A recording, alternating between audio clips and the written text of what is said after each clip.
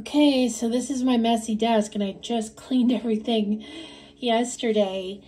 But um, I kind of had this inspiration to make these little prayer journals, and I didn't put anything on the inside. I just decorated the covers um, because I'm not that good yet. But anyway, so these are both for friends, and what I took is just your standard composition book. I actually got these at Second Chance thrift shop in Pacific Grove a while ago.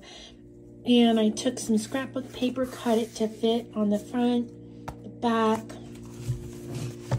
on the inside, some paper, and then the and then I, I glued lace on top. So the idea is that you can take this and tie it course, now I've got sticky fingers. Well, I actually don't have sticky fingers, but I do have dry, uh, Krazy glue on there. And contrary to popular belief, it does not glue your fingers together, but it does leave them sticky for a while. So you do that. And there you go. And then that's what you do with this one.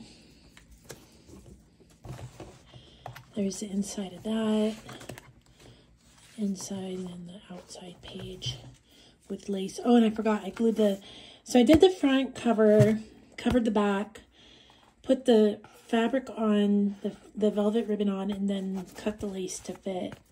So this is another one for another friend. And there you go. Now I'm going to have to clean all this mess up again, but that's okay. The day's young. I can do that. And I think I,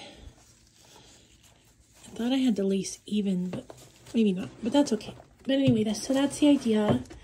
And those are the two little prayer journals. And that's just my little, my little Sunday inspiration. I've got all this paper, all these bits of lace. This is really beautiful lace, by the way. You don't want tulle because tulle is too stiff. You want chiffon.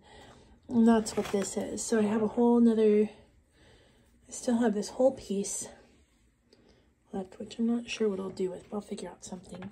So there you go. That's my, my two little prayer journals, both for two really sweet friends. And you can take any composition book.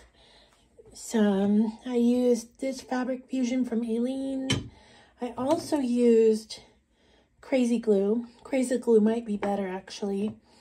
Uh, but you need a bigger tube because that wasn't big enough. I used a glue stick that I got at the grocery store, a pencil, a ruler from quilting, some scissors that are fabric cutting scissors. Um, I think that's pretty much it. And then a bunch of scrapbook papers. So there you go. But I hope you like them. Love and hugs. Bye.